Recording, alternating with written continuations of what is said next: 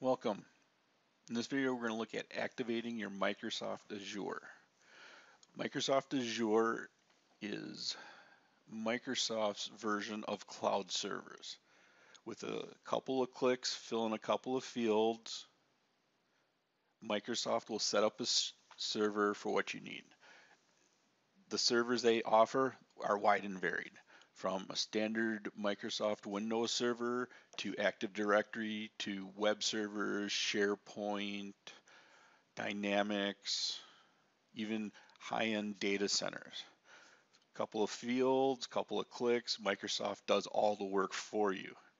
Plus they take care of all the hardware and power requirements and network requirements. So this is a great solution for many companies. You should receive an email from me with your Microsoft access code in it. In this email, there are two fields that are important. First one is down here. It has your student pass. So I'm going to copy this field at this point in time. And then I'm going to click on the link right above it. And if you need any help on any of this, in Learn It Stout, I have some I have some notes I use to go through and do this process. Now, in this video, I have to change to some screen captures because I've already associated a Microsoft Azure account with my with my Microsoft account. But at this point in time, go through, select your country. Your country needs to be United States of America. That's where UW Stout's at. That's how the codes are associated. Then in this field right here, paste your code in here and go ahead and click submit. It'll ask you to sign in with your organizational account or your Microsoft account. At this point in time, click sign in.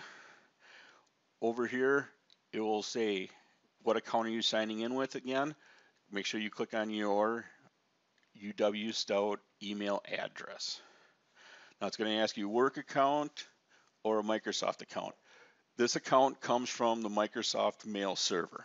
That's how they do this. They, they try to associate it so that way you only have to remember one password. So go ahead and click on work account, worker school account. Then it's going to redirect you to the login server. At that point in time, and I missed this screenshot in here, but you have to enter in your password. Your password is your UW Stout email password. Once again, they're connecting to our mail server to get that information off of there, so that way you only have to remember one password. So once again, your password is your UW Stout mail server account. Then it'll have you enter in some information. Go ahead and enter your first name, your last name, click submit, and here is information about your Azure Pass. I have an instructor account. My instructor account is a little bit bigger than yours, but you should have a $100 US monthly credit and it should be a six month duration. If you click on the view or offer details, this is what comes with it. This is the explanation there. The idea is you get a $100 credit from Microsoft and they charge based upon how big your servers are, how much you use the servers. If you don't use your servers at all, you don't get charged for anything. And for our course, what we're going to be using for, this is great. This is exactly what we're looking for. So when you go on to the next screen, please fill in your information.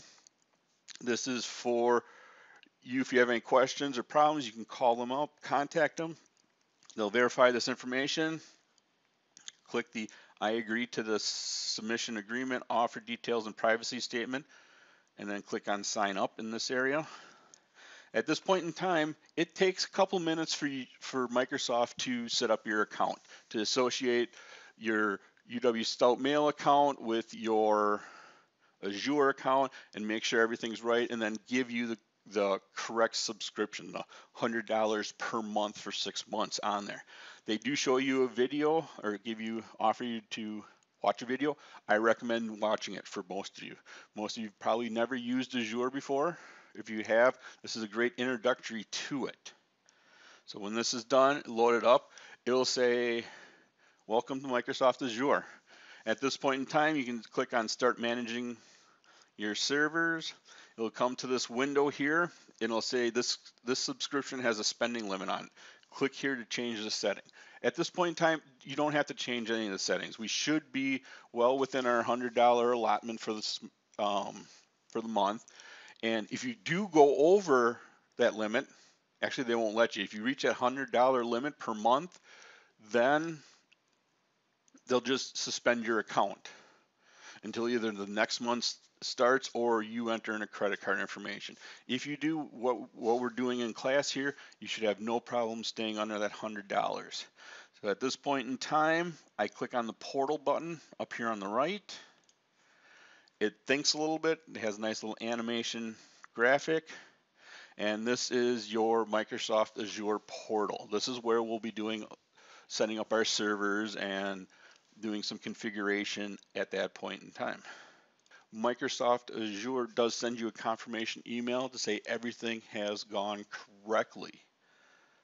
This was a quick little video on how to show you how to set up your Microsoft Azure account for use in this class. Thank you.